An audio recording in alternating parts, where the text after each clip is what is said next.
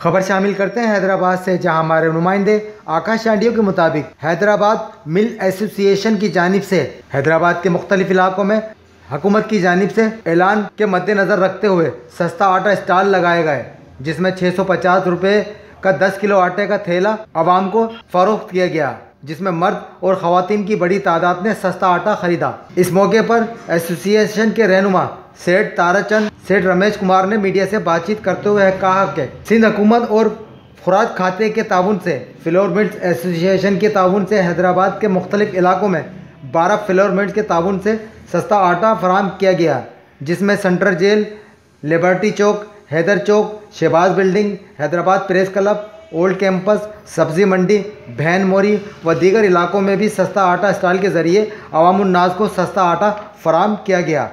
इस मौके पर रहनुमाओं ने अज़म किया कि सस्ता आटा स्टॉल के ज़रिए हैदराबाद की आवाम को सस्ता आटा फराम करते रहेंगे। रिपोर्ट कर रहे हैं आकाश चांडियो।